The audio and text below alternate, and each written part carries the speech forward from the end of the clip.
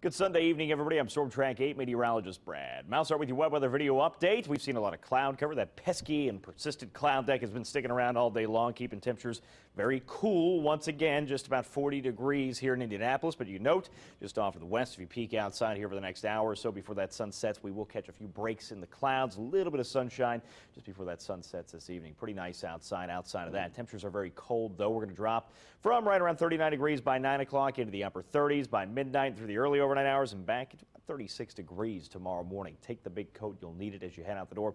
Even cooler here in the outskirts of town, near or just below the freezing point in many areas. Richmond, the cool spot again at 30 by the time you head out the door tomorrow. Now, high temperatures are going to rebound a bit, almost back to 50 degrees. That puts us nearly within 10 degrees of our average high in the lower 60s this time of year. Still below, but at least we're working our way in the right direction. Unfortunately, we'll see a chance for a few showers returning tomorrow, but Halloween looks really nice. Get outside and enjoy Halloween, albeit it's, uh, it's going to be a little bit cool out there, 45 degrees by 6, low 40s for the rest of the night for trick or trunk or treating.